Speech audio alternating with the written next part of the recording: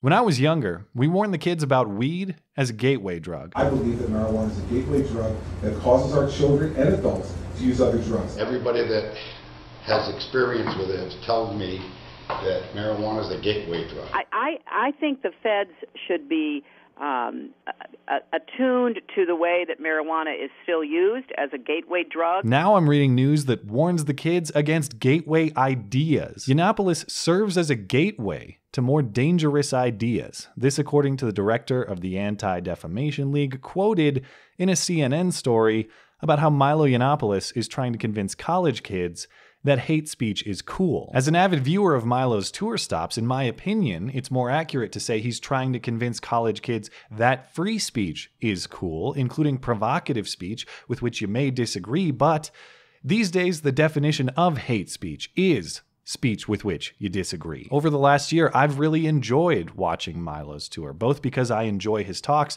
but also because his fiercest opponents our incidental bonus comedy. There was Trigglypuff. There were the bloody self-painting feminists. There was Nicki Minaj and David Cross's mashup love child. I appreciate Milo's mind, but at least equally, I appreciate him as a herder of lol cows. However, if you take enough lol cows to slaughter, eventually they may revolt. And we are at that point. I think my ability to find humor in most things is pretty broad, and it's certainly easy to do in the context of your old fashioned Milo protesters.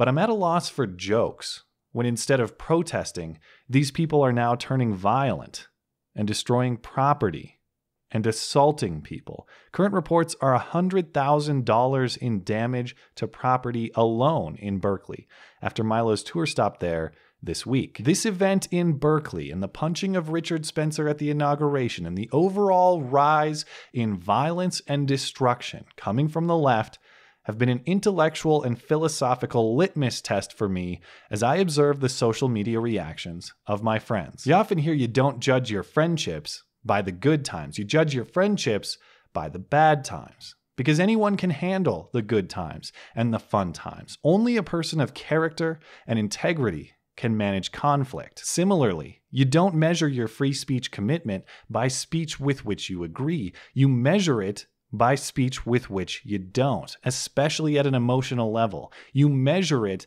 by speech that you personally might have urges to shut down. For me, that's something like protesting military funerals like Westboro Baptist has done. And for other people, that's a juvenile lecture from a Trump worshipping British gay guy with a comically inflated ego. The point is, I'm committed to free speech, and I want everyone to have his or her say, from God hates fag signs to the dangerous faggot tour. When are those going to collide? That would be awesome. That's a free speech apocalypse waiting to happen. Anyhow, in response to how serious the left's fascistic and violent reaction to the wrong ideas has become, I think it's incumbent upon me and incumbent upon us to inquire seriously about the philosophy that makes this type of brutality possible. And that's why I'm stuck on this gateway quote, which is at least part of the problem. This concept that certain ideas are gateways to other dangerous ideas. I've never heard this concept described in exactly these terms, but I have heard the reasoning before,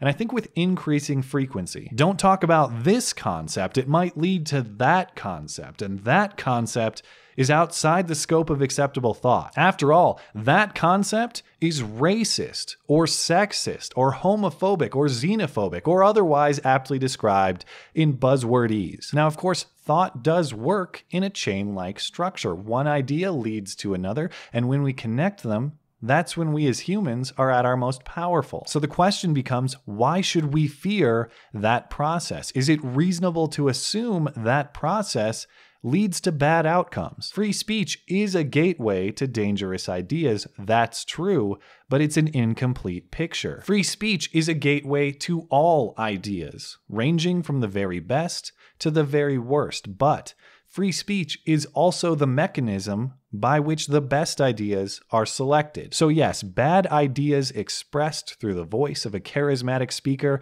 can have disastrous outcomes. I will grant your Godwinian example, but I contend that's an anecdote among the data of human history. Consider this Is it coincidence that the countries that top the Human Freedom Index and the countries that top the Global Innovation Index have significant overlap. Why do you think it is that a freely functioning marketplace of ideas corresponds directly with innovation? Would it be better if these countries simply told their citizens the right ideas instead?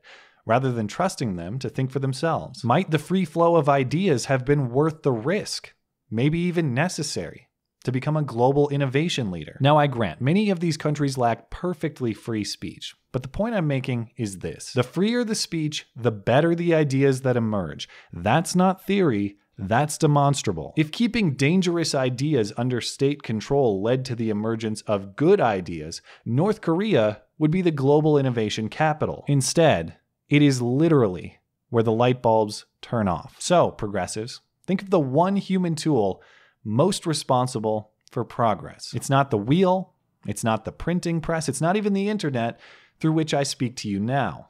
It's what gave rise to all those revolutionary tools. It's thought, articulated through speech. It's freely asking, what if? And allowing the theoretical answers to flow without fear of the bad ones, because the good ones tend to be fiercely competitive. When people have the freedom to choose ideas, they tend to choose the best ones, and quality of life tends to increase. The reality is, there's no such thing as discovery, innovation, progress without risk. The philosophy of fear is as inappropriate in the context of speech as it is in the context of science or the context of history or anywhere else. Oh, Mayflower settlers don't sail through that gateway to America. There's danger there. Oh, Lewis and Clark don't tread through that gateway to the west. There's danger there. Oh, Allied forces don't drop behind those German lines. There's danger there. What might today look like if the people of yesterday had left every gateway closed? What might a college campus look like with intellectual gateways closed? And what would be the purpose of such an institution at all? The philosophical hinge in this thought exercise rests on this fundamental question When given choices, do you trust human beings to make good ones? Or do you not? And if you don't, if instead you think you should be the one to make those choices for them, I'll repeat a common question I've asked frequently over the last year. Who's the real fascist again? Thanks as always for listening and for supporting this channel. Always appreciate that thoughtful discussion down below and especially over on Twitter. That is at ML Christiansen. You're always welcome to come hang out and chat in my live streams. Those are linked down in the description. Looking forward to it. Okay, bye.